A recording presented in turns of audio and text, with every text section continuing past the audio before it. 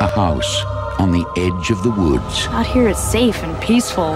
A family alone. Mom? Yes, sweetheart? Can you leave the door open a crack? A favorite uncle who needed their help. Things haven't been going so good for me since I got back to this. Come stay with us. But when they invited him in, Think I better keep my eye on you. they let in something they could never imagine or ever escape.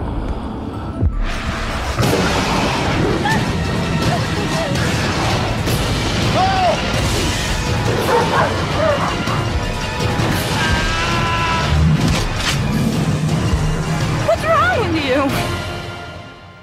Bad Moon. It doesn't have to be Halloween to be this scary.